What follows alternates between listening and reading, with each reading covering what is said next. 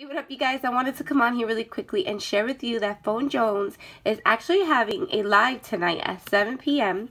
It's a pretty cool idea, Phone. I love this idea. So it's a live networking party for smaller YouTubers. It's at 7 p.m. I'm going to leave this link down below. She explains a little bit more on, on this uh, video.